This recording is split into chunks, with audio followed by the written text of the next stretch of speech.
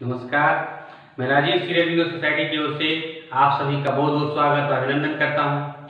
हम आज शिक्षा में सुनी निवेश नवाचार कार्यक्रम जेड आई आई आई द्वारा संकलित एक रोचक और अभिनव नवाचार के बारे में आपको बताएँगे। हम इनोवेटिव पाठशाला के अंतर्गत बेसिक शिक्षा परिषद उत्तर प्रदेश के कक्षा एक के हिंदी विषय की पुस्तक कलरों के पाठ दो बाघ पाठ में एक नवाचार, अभिनव शिक्षण तकनीक की गतिविधि थीम आधारित उपस्थिति का इस वीडियो में क्रियान्वयन करेंगे। हम आशा करते हैं कि आप भी इस वीडियो को देखने के बाद इस नवाचार तकनीक को अपनी कक्षा व अपने विद्यालय में अवश्य लागू करेंगे। इस पाठ को आई आई के कई नवाचारों के माध्यम से पढ़ाया जा सकता है, परंतु आज हम इसे थीम आधारित उपस्थिति से समझेंगे। पाठ का सार। प्रस्तुत पाठ का सारांश यह है कि बाघ पाठ बाघ के चित्र पर केंद्रित है, जिसमें परिवेश की वस्तुओं जीव जंतुओं और पेड़ पौधों के माध्यम से हिंदी के साथ पर्यावरण अध्ययन विषय को भी एकीकृत किया गया है। नवाचार की नवीनता।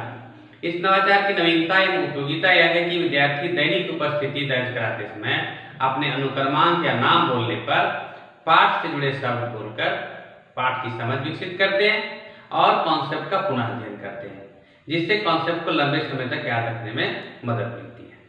आइए जानते हैं इसके क्रियान्वयन की प्रक्रिया को। इसके अंतर्गत शिक्षक छात्रों को पढ़ाए गए पाठ की अवधारणा के को पुनः अध्ययन की प्रक्रिया के अंतर्गत कक्षा में उपस्थिति के माध्यम से पशु पक्षियों की पहचान और काम वाले शब्द की जानकारी क्यों दोहरा सकते हैं? इसके क्रियान्वयन में 20 मिनट का समय लगता है और इसके लिए किसी प्रकार के पूर्व प्रबंधन की आवश्यकता नहीं पड़ती है। थीम आधारित उपस्थिति के निर्देश। शिक्षक के द्वारा उपस्थिति के लिए काम वाले शब्द के थीम निर्धारित किए जाते हैं। सभी विद्यार्थियों को विनम्रता पूर्वक निर्देशों का पालन करने के लिए कहा जाता है। उन्हें गतिविधि के दौरान अनुशासन के पालन का भी निर्देश दिया जाता है। विद्यार्थियों की क्रमानुसार उपस्थिति ली जाती है और कक्षा में उपस्थिति के दौरान सभी विद्यार्थियों को शिक्षक के द्वारा अपने अनुक्रमांक या नाम सुनने पर काम वाले शब्द बोलने के लिए कहा जाता है। आइए इसे उदाहरण से समझते हैं। शिक्षक किसी एक विद्यार्थी का अनुक्रमांक बोलते हैं, जैसे अनुक्रमांक एक। विद्यार्थी अपने स्थान पर खड़ा होता है और बोलता है, बैठना। अनुक्रमांक दो। दूसरा विद्यार्थी अपने स्थान पर खड़ा होता है बोलता है, चलना। शिक्षक इसी तरह एक एक करके अंतिम अनुक्रमांक तक बोलते हैं। और सभी विद्यार्थी काम वाले शब्दों को बोलकर उपस्थिति दर्ज कराते हैं और पाठ का पुनर्जन करते हैं। आइए देखते हैं इस नवाचार के क्रियान्वयन से क्या लाभों पर प्रतिफल प्राप्त होते हैं। थीम आधारित उपस्थिति से छात्र पढ़े हुए पाठ का आसानी से दोहराव और स्मरण कर पाते हैं।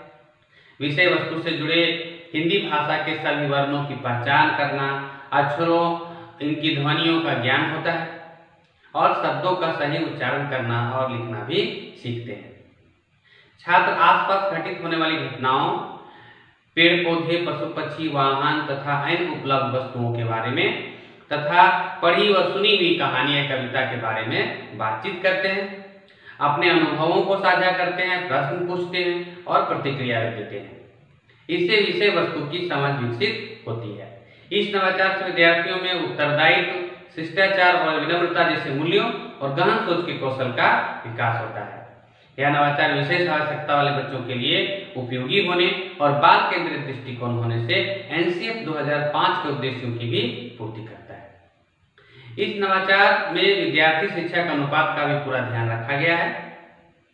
शिक्षक बाग पाठ को उत्तर प्रदेश के पाठ्यक्रम के अनुसार अप्रैल माह में ही पढ़ाते हैं। और बच्चे रोचक व नवाचार के साथ, गतिविधि का आनंद लेते हुए कक्षा में पढ़ाई करते हैं।